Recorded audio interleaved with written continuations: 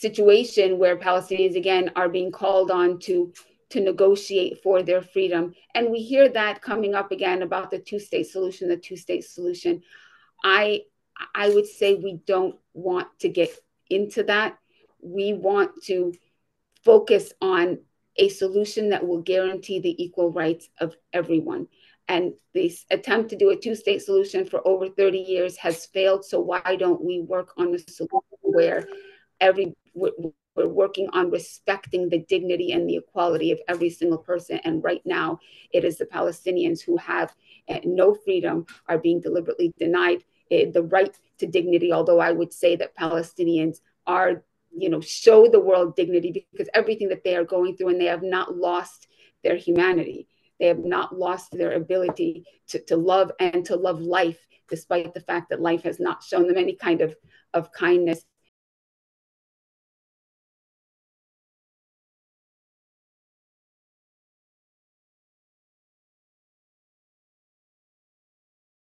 Good afternoon, everyone. My name is Michael Spath, and I'm the Executive Director of the Indiana Center for Middle East Peace in Fort Wayne, Indiana. Welcome to this, the next series of webinars in the Stones Cry Out virtual delegation. It's building on our in-person delegation to Palestine this past February and March. These webinars um, are, are designed to inform and empower our advocacy this coming September 23rd to 25th as we gather in Washington, D.C. for meetings, direct actions, demonstrations, and other important gatherings. You'll notice, uh, for example, I was just in touch with Josh Paul, who resigned from the State Department um, uh, earlier this year in protest of the Biden administration policies toward Palestine and Israel, and he'll be uh, one of our speakers. So we urge you to spread the word widely and join us in Washington, D.C., September 23rd to 25th. Our next uh, webinar is next week when I interview political analyst and activist Josh Ruebner. Many of you know Josh is just finishing his PhD under Ilan Pappé at University of Exeter.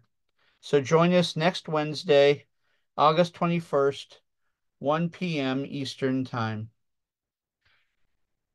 Finally, I want to say thanks to my partners, Kairos USA's Mark Braverman and Doug and Doug Thorpe from the Episcopal Bishops Committee in the uh, uh, in the uh, Diocese of Tacoma uh, of Olympia. I'm sorry, and all the sponsoring organizations listed here. We're delighted today, uh, really, to welcome our friend, Palestinian American lawyer, co-founder of the International Solidarity Movement, an organizer of the Gaza Freedom Flotilla, a member of the Palestinian Lawyers Guild, and so much more, Huwaida Arraf. Huwaida, uh, welcome. Lots to talk about today. It's good to be with you, Michael. Thank you. And to everyone who's tuning in, thank you for being here.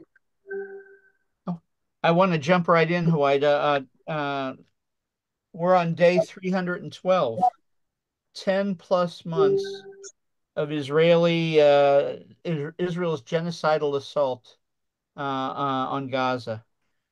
But I've been saying this from the beginning, and I've asked this to every one of our speakers. This is more than a war on Gaza or Palestine. It's uh, a war on Palestinian history, tradition, culture. It's a war against the very idea of Palestine itself, an attempt to erase Palestine from human memory. It's the very definition of genocide. Uh, your reaction? Well, I think that's absolutely true. And what we what we've had until now in, in this kind of awakening amongst a lot more people is this notion that we have a conflict um, over territory, uh, a religious conflict, and it's been taken since at least since the Oslo peace process, but even before, where it's it's couched in this idea of these two parties negotiating an end to this conflict.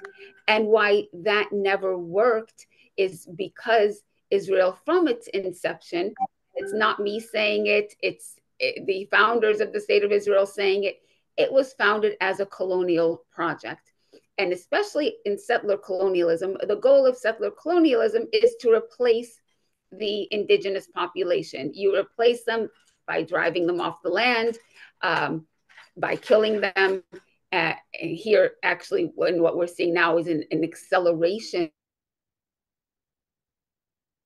of that killing on top of you're uh, you're uh, you're you're freezing up on us, Huwaida. You're freezing. Absolutely true. Huwaida, you want to Oh, check no. your uh, connection? You're freezing up on us, and we're having trouble hearing you. Oh no, my connection is good. All Can right, you hear me now? We can hear you now. Okay. I hope you heard what I said, so I won't repeat. Only to say that we have, or, or there has been a purposeful misleading previously in terms of what the nature of Israel in Palestine, in occupied Palestine, has been. Of course, we're used to understanding that Israel was the victim and it was attacked by surrounding Arab countries and it just trying to stay uh, safe and ensure its security. Now we know, or has been exposed, of course, Palestinians have always been saying, but it's been exposed that Israel's never really was never the victim. Israel is a settler colonial project and through the years has been working to replace the indigenous Palestinian population. And when we got into the peace process in 1993, and of course, the United States was a big part of this, of trying to completely disregard international law where it comes to Israel and Palestine and a resolution uh, of the situation and turn it into a situation where uh, of just dialogue in order to come to an agreement uh, to, to settle the what they say conflict. That of course contributed to an understanding that it's just a dispute between two equal parties if not palestine and palestinians being the aggressors and israel the victim and the stories that we're used to hearing about all of these concessions and these generous offers that were made for to palestinians over the years and the united states of course contributing to that always taking israel's side it has been clear no matter what Palestinians have offered. And before the talk of the two state solution, Palestinians were working for and calling for one democratic state with all people, all people living in there. Of course, it became then this two state solution. And we saw that that was never able to be implemented because Israel continued its colonization of the land while it was supposedly trying to negotiate. And this was, for me, one of the most important things uh, of the International Court of Justice recent ruling on the legality of Israel's occupation. It just came out in July 19th last month. It, there were many important things in there, but one of the most important things for me was saying that Palestinian liberation or Palestinian right to self determination is not contingent on Israel's diktats, not contingent on a peace process. Palestinians have an inherent right to self determination. And trying to couch that into Israel must agree on the contours of that is, uh, is illegal. And Israel's situation of occupying the West Bank, Gaza, including East Jerusalem, is unlawful and must be brought to an end as swiftly as possible. And all states have an obligation not to recognize that, uh, that unlawful situation, and also to enact uh, and, and also not to facilitate it. So not to contribute to the continuation of this unlawful uh, this unlawful situation. And we know that the United States has been uh, doing that. Again, the important part of that again, many, many important parts, but one of the most important parts is erasing this notion that Palestinian freedom is contingent on Israel agreeing in some kind of peace process. Right. And every time international law is brought up to the to the United States, we have the ICC, the ICJ, violations that are presented to you know, various and, and successive US administrations, we always hear that that's not helpful to the peace process. Well, Palestinian rights and the right to be free is not contingent on any peace process. Well, wait, as, as long as you brought it up, uh, let me ask you. You're you're a, a, a, an attorney, a human rights lawyer. You you brought up the ICC and ICJ rulings, and of course, we activists uh, celebrate these legal victories. Yet nothing changes on on the ground. I mean, does I don't want to be cynical, but does international law matter anymore? Tell us why it matters. Tell us why these rulings matter and how we can help make them matter on the ground for the Palestinian people. Well, that's a great question, and one that many people, certainly activists, have been asking these days. And actually, when was it? Back four, 16 years ago now, when I was teaching law in Jerusalem to Palestinian law students, and I was teaching international human rights and humanitarian law. And back then, my students said to me, This is nice, miss, but it doesn't apply to us. So it hmm. really doesn't matter. It looks nice on paper. And, you know, back then I had an answer, and, and it's similar now in that we have to understand law is not a savior, not a be all and end all. It is a tool that we use. It is a tool in our toolbox. And if you understand the development of international law, you know that it was developed by, you know, at a time where of uh, of world like colonialism and developed by colonial powers, and that extended to, you know, the the post World War II era, post the, the colonial decolonization era it was thought to improve because now newly decolonized countries were having an input, becoming states and members of the of the United Nations. But you had a structure put in that ensured that certain countries, the powerful nations, maintained really a uh, control of everything that's happening anything consequential. And so you have the UN Security Council, which really is the only body that exists today to authorize um, action in, in order to enforce peace or enforce the law. And there is a veto in there that the United States has been wielding in order to defend Israel. So does that make the international law irrelevant? No. Uh, but but it is a tool for us to use and knowing that in international law you have international courts but you don't have those courts don't have an enforcement mechanism. There's no world police right? The, it comes back to the states to enforce.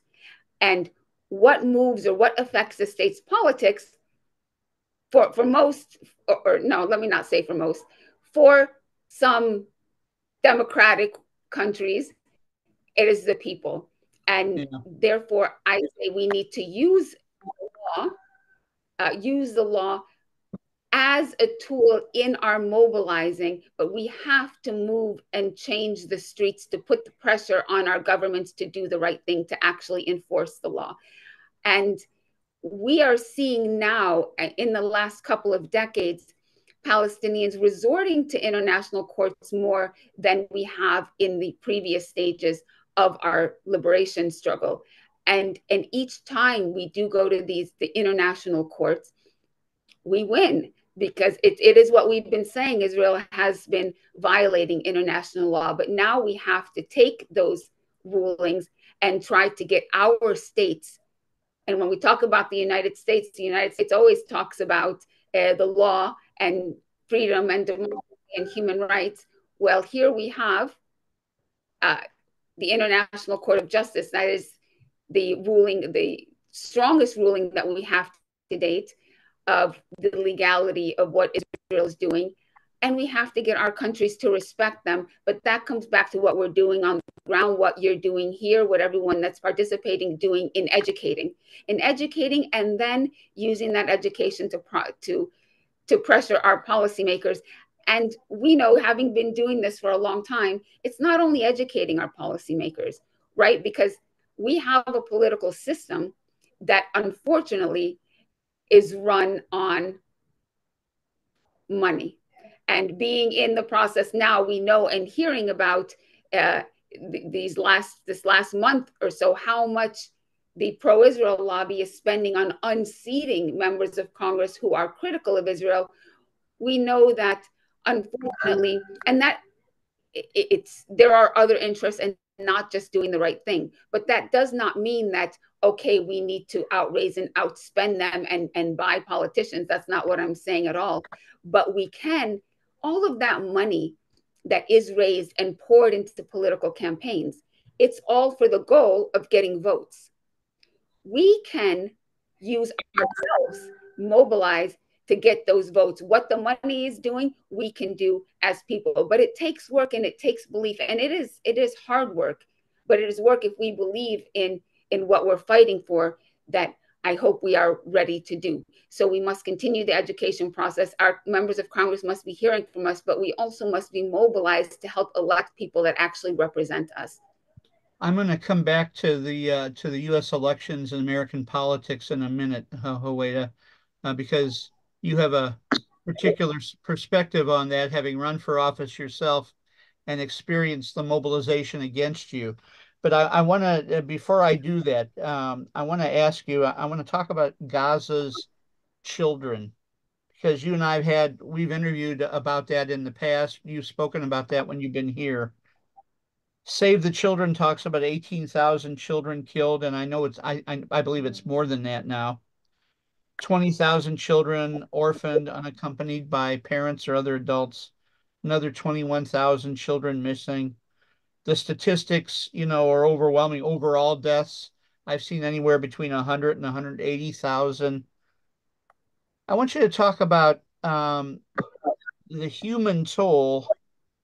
Uh, we hear about the children. I, I mean, you and I have talked before about the children who live through this, even uh, the the trauma that they bear, and and they're becoming radicalized in themselves. So it becomes a self fulfilling prophecy for Israel. Um, the bodily trauma, the brain injuries, death by suicide. I mean, talk about the human toll on the children, both in terms of the death, those who died, but and the impact on their families, but also those who survived.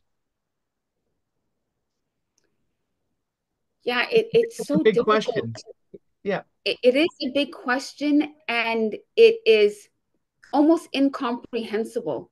It's incomprehensible the magnitude of the death, destruction, and trauma that we are dealing with. I mean, months ago, we heard reports of five year old children wishing they were dead with wanting and and i continue to see till today children crying over their dead parents or brothers and sisters and saying that they wish they were with them. Why can't they go? And that is not only i think based on the trauma of losing such a loved one but also the pain of being alive now in gaza. I don't know if any one of us can really imagine over 10 months of not having housing, not having water, not having sanitation, constantly having to move largely on foot because you don't have fuel for cars or they've been destroyed.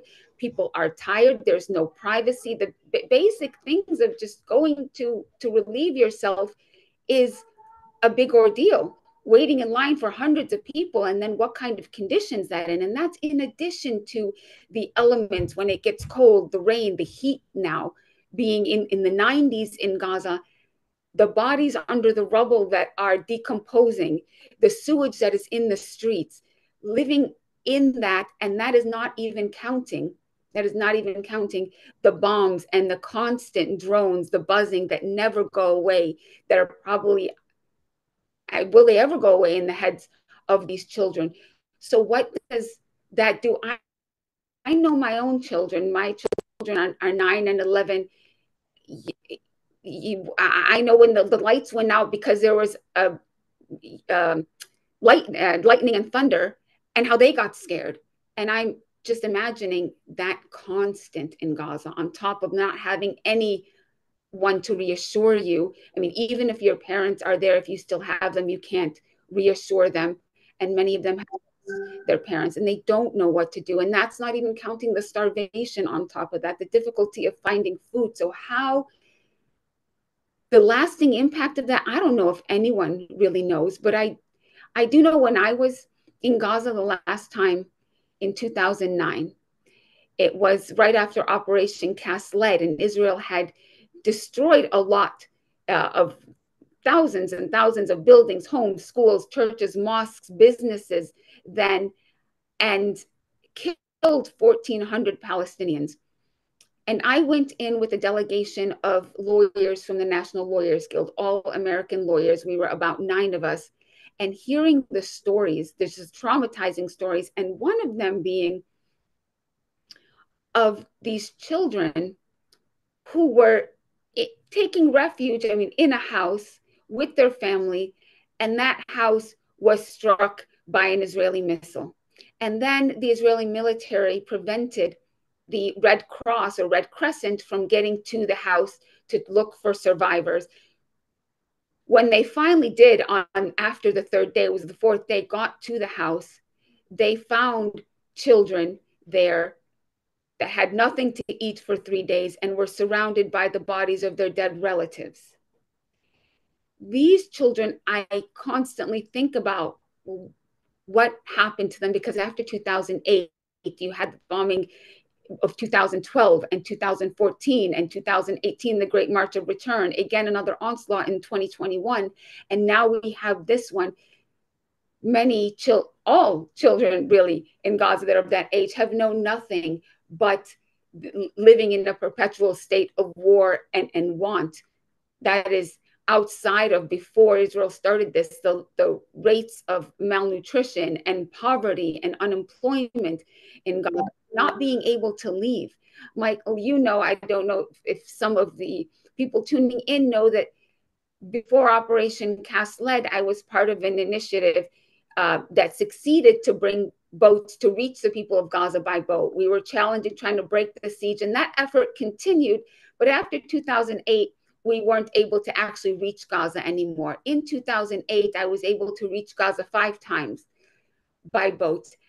And one of the most devastating things and the hardest things for me is we would try to have room on our boat to bring out a couple of people. We had a small boat, so we really didn't have a lot of room but the number of people and especially young people especially students saying please take me out because they had scholarships they had one placement in foreign universities and israel would not let them leave. So their whole future kind of tied to this small prison that is the size of metro detroit and they're trapped and see no future. But imagine having a scholarship and want a place in a prestigious university or any foreign university and not being able to get out. I would have students tell me just just take us halfway and then we'll swim the rest of the way, wanting to get out.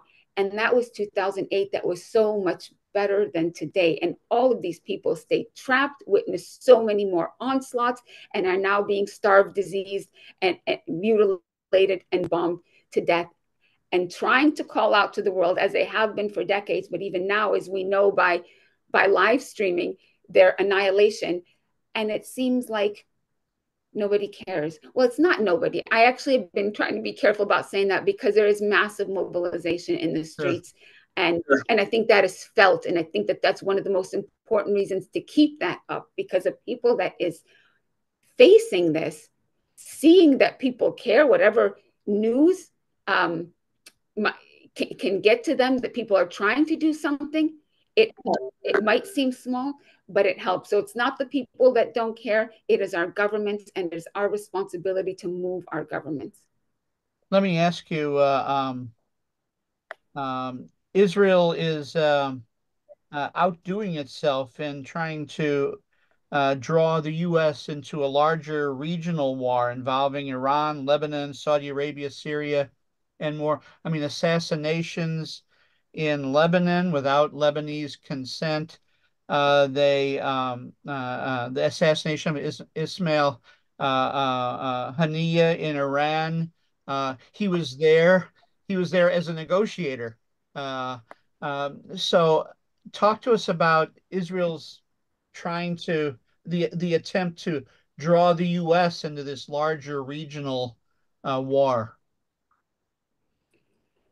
yeah, that's what it looks like, right? Because Israel continues to attack its neighbors and and cry victim, right? Um, and they know that they can do that for the most part because the United States has just been an uncritical supplier of uh, political support, uh, ensuring that Israel remains in, immune from any kind of accountability, and sending shipments of weapons when Israel needs it. And we know yesterday we heard of last week it was 3.5 billion in additional financing to buy new weapons, and yesterday a 20,000 a 20 billion dollar deal was just approved. So no matter what they do, they know that the United States is not only standing behind them, but also with the rhetoric, with the rhetoric, giving them the the green light to continue because the rhetoric has been uh, to blame the Palestinians, and and we know that with especially with the negotiations, the Biden administration always saying that the ball is in you know Hamas's court when it's each time it's been Israel that has not been accepting the deal that was seemingly on the table. And then with assassinating Ismail Haniyeh, who was not part of the arm wing, largely believed not to even have known about October 7th and been a pretty moderate negotiator. He was the top negotiator. And, you know, Israel assassinates the top negotiator, and yet there's no condemnation from the United States. We still hear about uh, we, we still hear about the need to, to negotiate. No real criticism of, of Israel, which again allows allows people to be uh, manipulated or to have this misinformation about what is actually happening. And so we know or have been hearing about Benjamin Netanyahu and his own personal reasons for wanting this to drag on. Um, he doesn't care about the hostages. He doesn't care about hostage families. He doesn't care about uh, ruining Israel. He doesn't care about starting a regional or a world war. It's his own personal um, stakes that he is thinking about. And so, continue striking Lebanon, striking Iran in this in this way is, as you said, this attempt to start a regional war, and the United States, as the obedient big brother enabler, is sending, you know, massive uh, troops and armaments to the region and and making these declarations that they will defend Israel, they are behind Israel. When again, Israel is the aggressor in the region.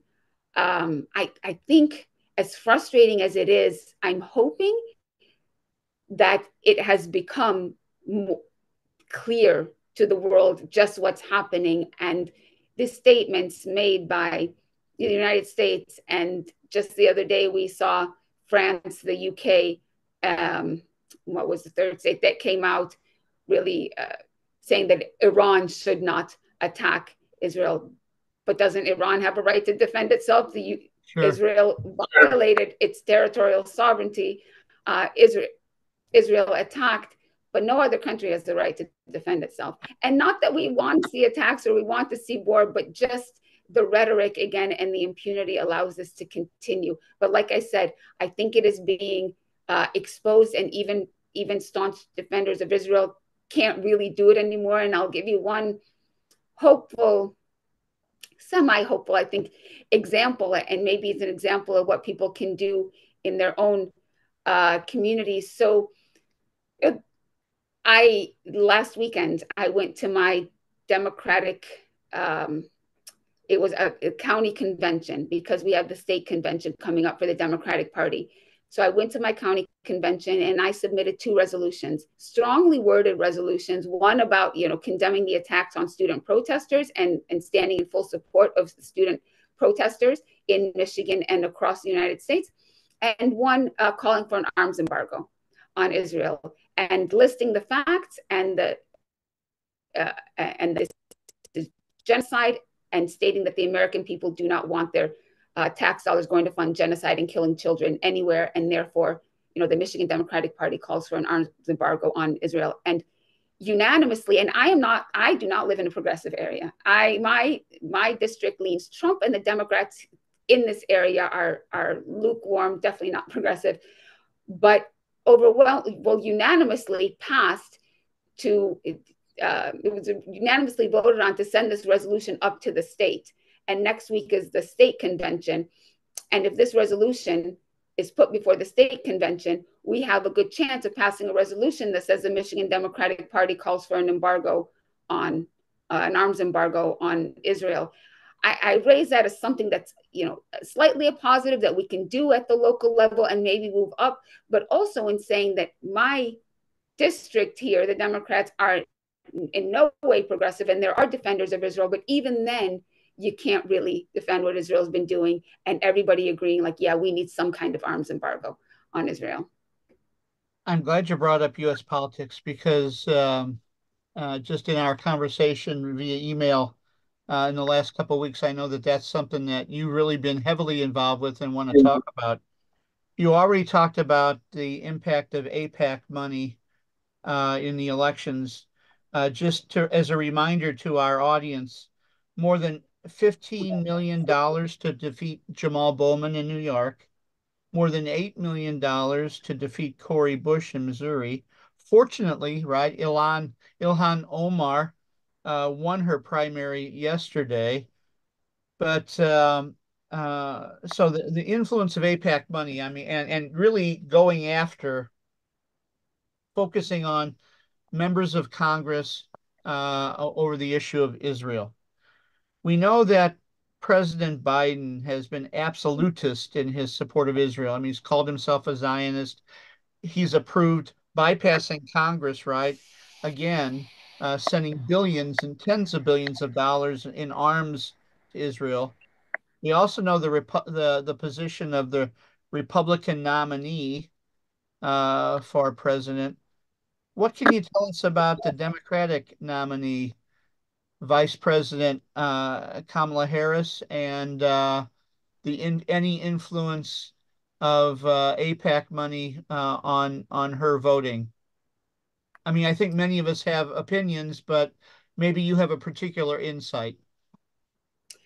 Well, I don't have any like insider information on the influence of, um, you know, particular influence of AIPAC money on her, but we know that AIPAC does round up millions and millions of dollars and gives to Democrat and Republicans, and they've given to election deniers and you know women's rights deniers. Their apex criteria is only you know uh, how you view or how the member of Congress or the potential member of Congress views Israel, and will they vote uh, with Israel no matter what kind of government Israel has? Vote to defend Israel no matter what. That is AIPAC's line no other policy, domestic policy matters.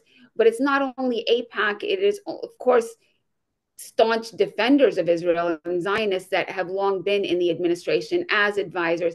You know, we say we don't actually know how cognizant Biden is now, although he has previously said that, you know, he is a Zionist and that if there wasn't an Israel, we would have had to create one. But we also know who he surrounds himself with. And these are staunch Zionists. So who's actually calling the shots now? We don't know. We'll, we'll leave that to speculation. But Kamala Harris, you know, we've heard she shows a little bit more empathy. It might signal a change in her administration, but empathy is not going to get us anywhere. We need a, a, clear change of policy. Okay, so she empathizes with the children who are being beheaded in Gaza. I mean, thank you. Uh, she's a little bit more empathetic than her predecessor. That wasn't a high bar, really. That was a very low bar.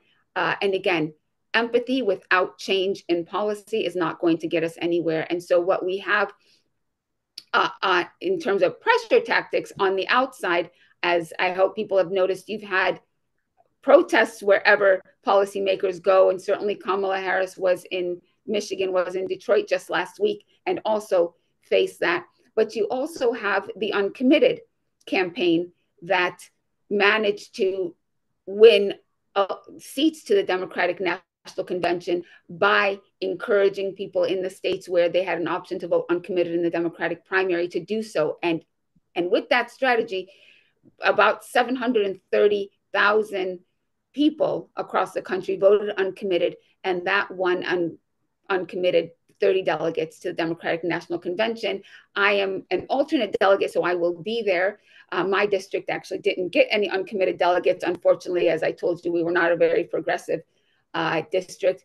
But the strategy of uncommitted is to say, look, we would like to see we would like to help you, Kamala. We would like to help this administration win, but our people and the people that we represent are not going to vote for you, are not going to get behind you without a clear change in policy towards Gaza, towards Palestine. At first, it was ceasefire. Now the demand is is embargo, arms embargo on Israel, and the, the campaign is worried. The administration, even the Democrats, are, worried, and there has been some. Um, there has been some communication. There is some outreach. There is there is no firm indication that we're going to get an arms embargo, and we've heard people say that that's almost impossible. Maybe so, but we are. That's what we're calling for. That is what's needed. The uncommitted is is also pushing for other things at the Democratic National Convention, including having a doctor, Palestinian uh, doctor who was Gaza, speak to all of the delegates. Um, it's not clear yet if we'll get that spot speak about what she saw. Uh, but what we know is that the you know the Democratic Party and the Harris campaign is engaging. They uh, they feel the pressure, even though polls right now are saying that Harris is up in some of the key swing states, including Michigan. Everywhere that she's up is really still within the margin of error, and that could flip, and that depends on, of course, getting people out and certainly uh, the the uncommitted Arab American, Muslim, Palestinian American, and and broader the youth and everyone else is is part of that. Uh, and and I think it's it's been a good strategy, but it's one strategy, and continuing to call to continue to demand of the administration and of the campaign that we need an arms embargo while another team is negotiating uh, or trying to negotiate uh, it, it's all it's all needed and more. So,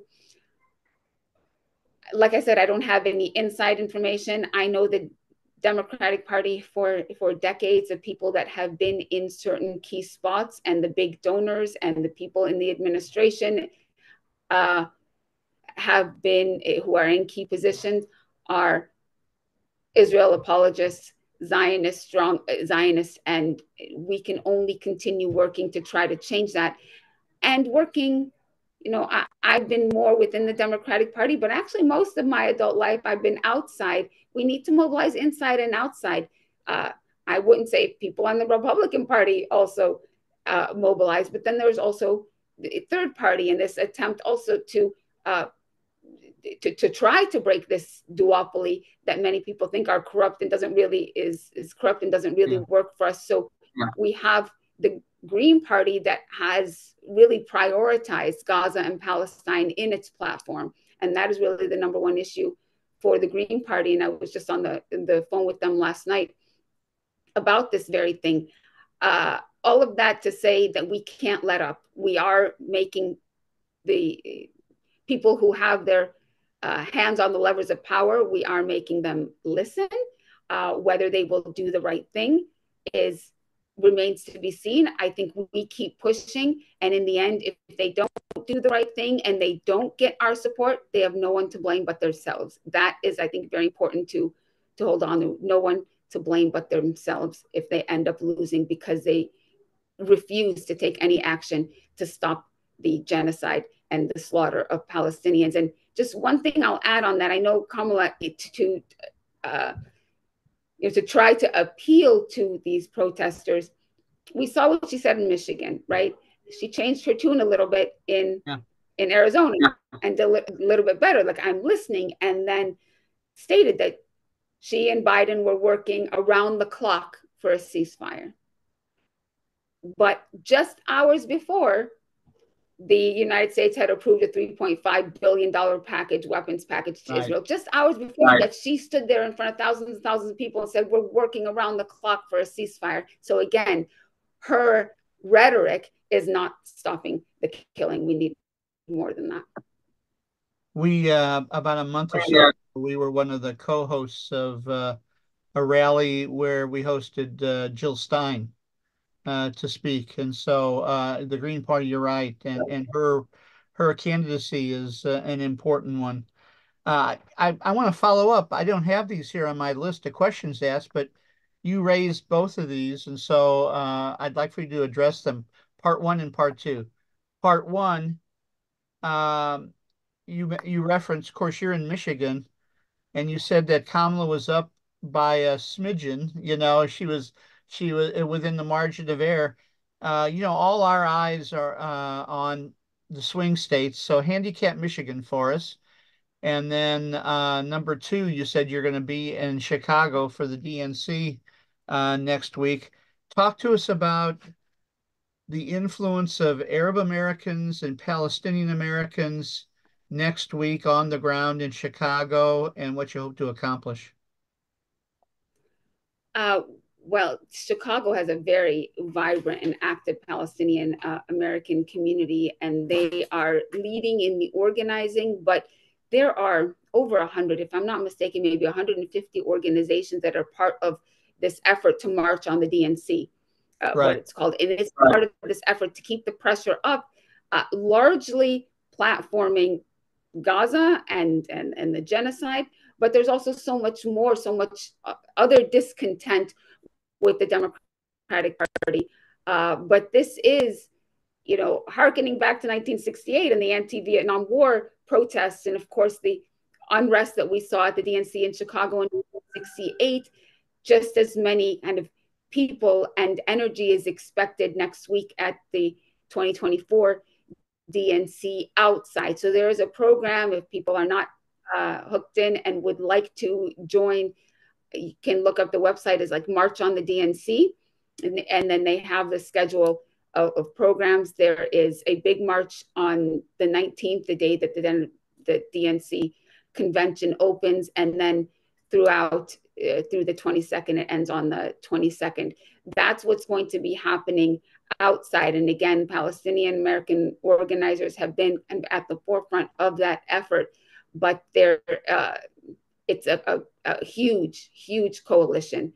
Uh, and that is the building of this coalition. You know, certainly there's more coalesced around just the horror of Gaza, but it's also been uh, a couple decades and even more of work done by Palestinian, Arab Americans, and others concerned about Palestinian liberation struggle in building alliances and in recognizing that uh, you know, we are stronger together. And generally, the forces that a profit or benefit of our oppression are the same that are oppressing other communities in other areas. And so that building of these uh, networks and solidarity and allies is work that has been ongoing, but has been elevated in this time just over the, the horror of Gaza. And then you, you will have inside the DNC um, the uncommitted delegates, uh, many of them who are Palestinian or Arab American, and and also we have some Palestinian and Arab American uh, Biden delegates who will be inside trying to talk to other delegates and use just that position of, of being a delegate there to to raise the pressure on the administ- the um, Democratic Party as a whole, but certainly on the the Kamala Harris campaign of, of signaling and, and moving towards a change in policy. And so that's what the, the delegates who care about Palestine have been working on.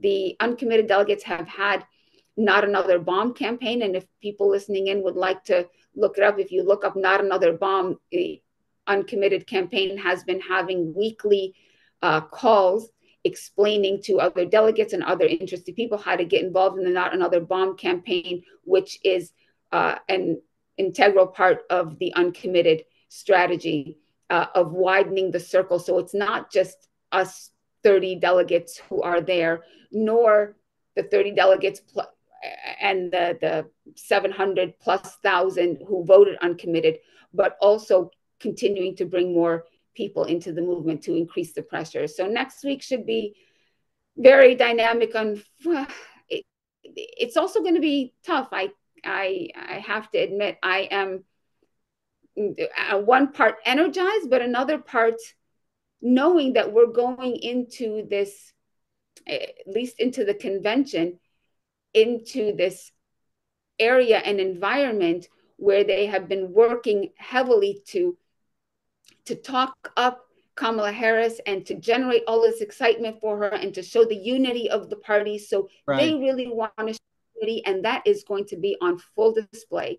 uh, next week, I am sure, even before when um, it was when Biden announced he was going to step down, all the Democratic Party in, in almost every state gathered their delegation and tried to get unanimous uh, endorsement of of Kamala Harris. The Michigan delegation, the uncommitted delegates spoke up, but sadly, you know, it was um, the voices were marginalized. I mean, you heard it, the delegates talking about the importance of stopping the slaughter on our families, and it was like, yeah, yeah, yeah, let's unanimously approve Kamala Harris and vote to endorse her. And uh, some of you might have seen one of our delegates as he was speaking another delegate unmuted to say shut up and then a profanity uh, which is really uncalled for. But it is part of and this is not to denigrate all you know the democratic party or anything but just this effort to just show complete unity and that we're all behind kamala and to try to marginalize us. But we we it's up to us to show that we're not going to be marginalized. We're not a marginal voice in this um, in this party and in this country who want to see a ceasefire and who don't want to fund uh, the bombs that are decapitating children. You uh, referred to this briefly. I want you to say more, uh, uh, about uh, it, it, this past winter and spring. We found hope in the voices of young people, particularly the students on uh, hundreds of college and university campuses uh, all around the country. Um, and of course, then summer break came.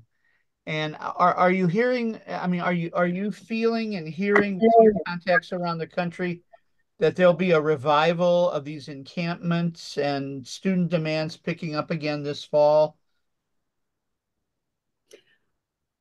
Thank you for the opportunity to speak. I'm going to speak specifically about Michigan. Yes, I do believe that the students are in contact. Um, you have the National Students for Justice in Palestine and the various organizations that they work with that have not stopped throughout the summer, but their work has not been focused on, on the college campuses because they're they're sparse or they're empty right now, but they have been in mobilizing national demonstrations against the slaughter and against when Netanyahu came. National Students for Justice in Palestine and the Palestinian Youth Movement and allies were key organizers in that. So the activity uh, has not stopped. In Michigan, and I'm going to focus specifically here because I'm it's one of the things that I have been uh, very busy with. Uh, last month, the, the, students approached me with um, a request if I would run for regent in the um, the, elections every every two years in Michigan, two seats for university regents, the three uh, universities in Michigan, University of Michigan, Michigan State, and Wayne State University. Every two years, two seats are up for election, and they came to me with this plan to actually seat a regent who would listen to them because the Board of Regents at the University of Michigan, which is my alma mater, has been, uh, I'm, I'm trying to keep it kind, has been really disappointing in, in how they treated the students. The students' demand was for a meeting, which is not, you know, some big demand. We want the regents to meet with us and to listen to us.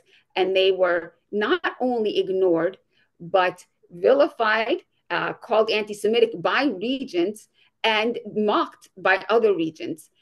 Wow. On top of that, you have students who are being now put through a disciplinary process that goes against the University of Michigan's own policies, because I'm representing one of these students as an, as an attorney.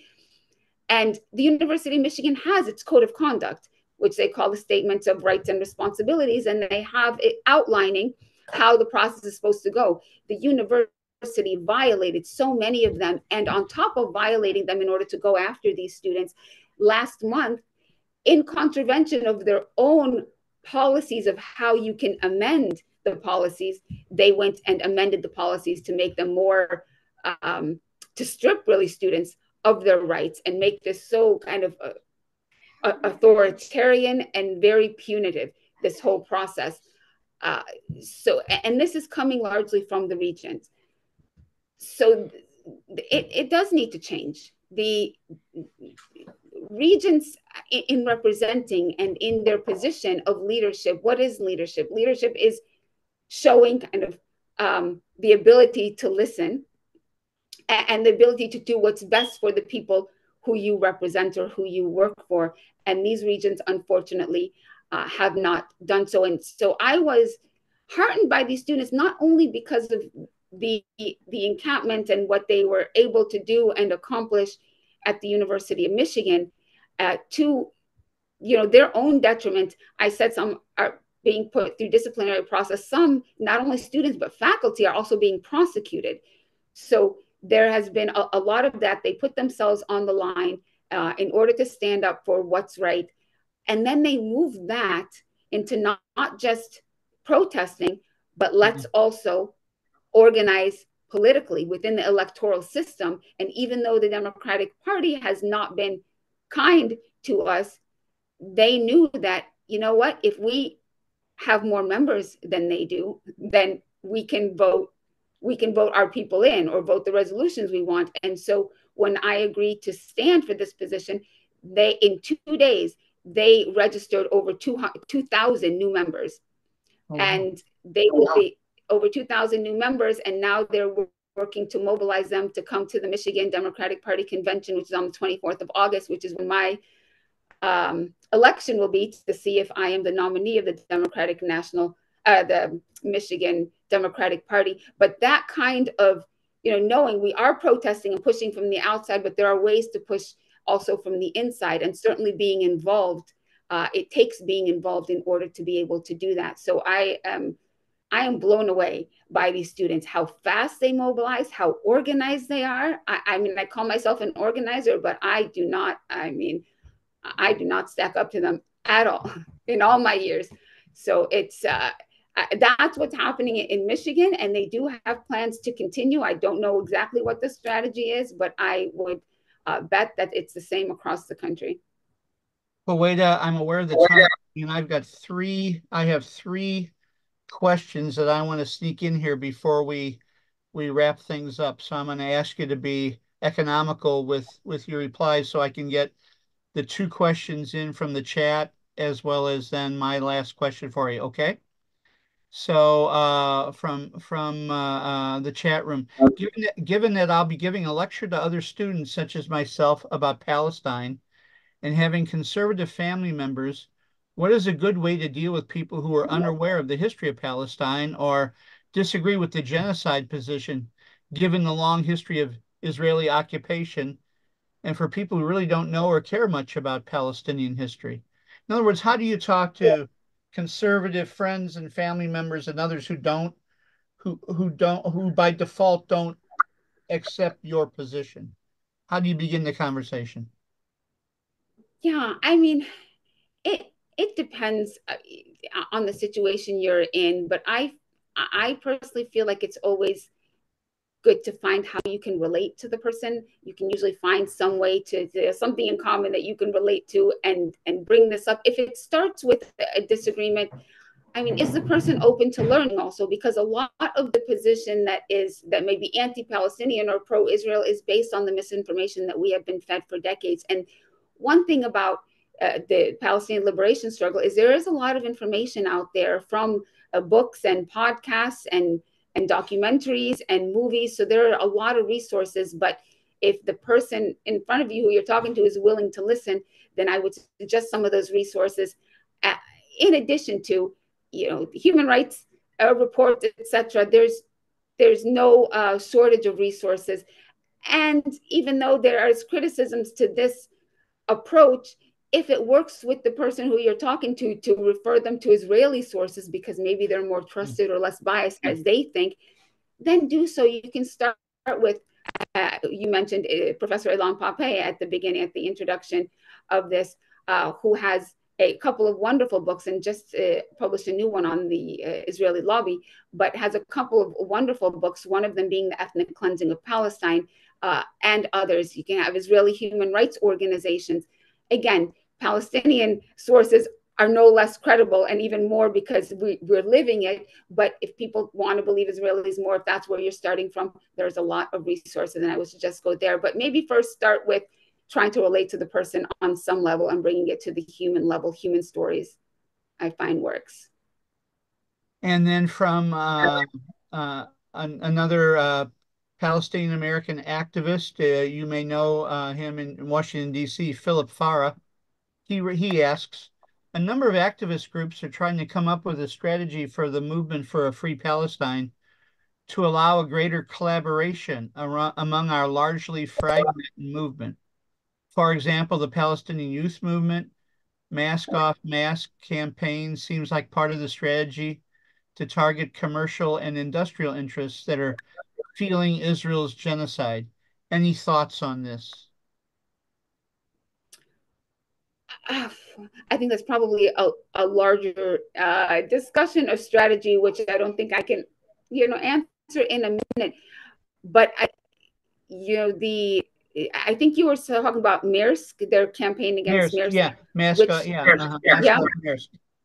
yeah, yeah. Which, I mean, I, I, think it's great. There's also a campaign that um, I part of the Freedom Flotilla Coalition that's been working to break the siege on Gaza, but we just teamed up with No Harbor for Genocide, the attempt to stop the uh, import uh, of fuel, jet fuel to Israel. We uh, we know that there are um, United States liner of um, of fuel from Valero that's heading to Israel right now with a shipment of jet fuel. But these kinds of actions um, sometimes I think we think that in movements, you know, we need to be all allied and all think the same. That's almost impossible. Uh, it's important, I think, that we uh, ally and join forces on some things like the big marches on Washington. You've seen hundreds of organizations come together to co-sponsor that, and and we've seen hundreds of thousands turn out.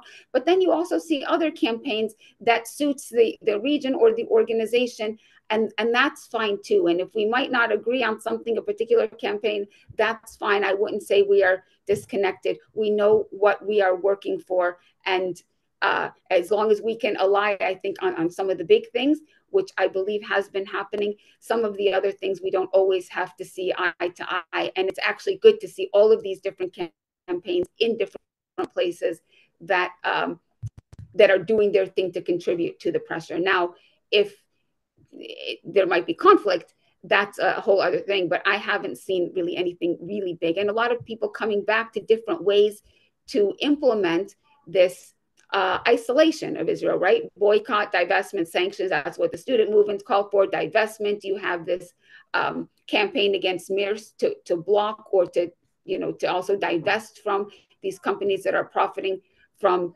from Israel's actions. And the No Harbor for Genocides actually working on direct action to try to block these shipments.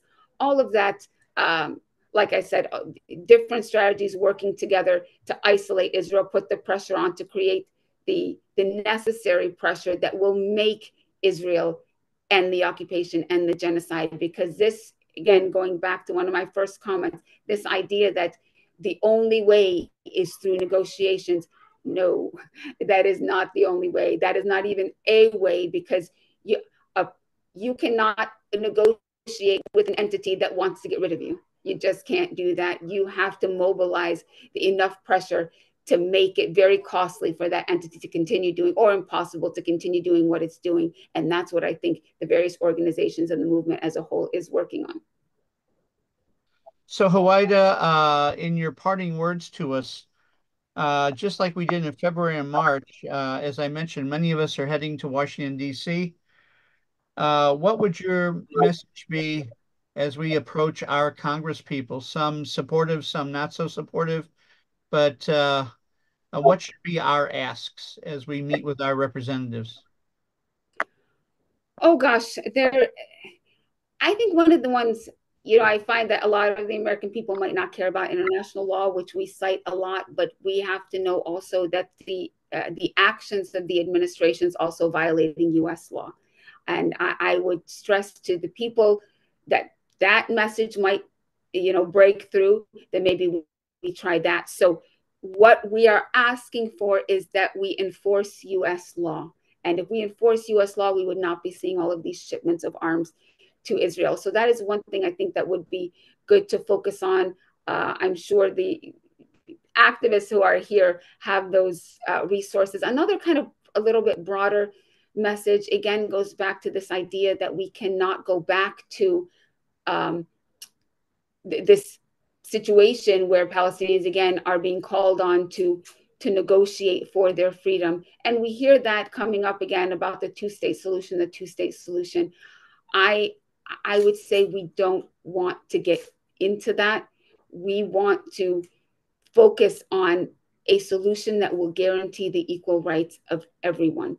And this attempt to do a two state solution for over 30 years has failed. So, why don't we work on a solution where every we're working on respecting the dignity and the equality of every single person. And right now, it is the Palestinians who have uh, no freedom, are being deliberately denied Eh, the right to dignity. Although I would say that Palestinians are you know show the world dignity because everything that they are going through and they have not lost their humanity they have not lost their ability to, to love and to love life despite the fact that life has not shown them any kind of, of kindness but i would veer away from any talk about two-state solution israel has already made that uh, impossible we're looking at implementing the law us law and part of us law is making sure that our weapons not only don't uh, that don't violate international human rights, humanitarian law.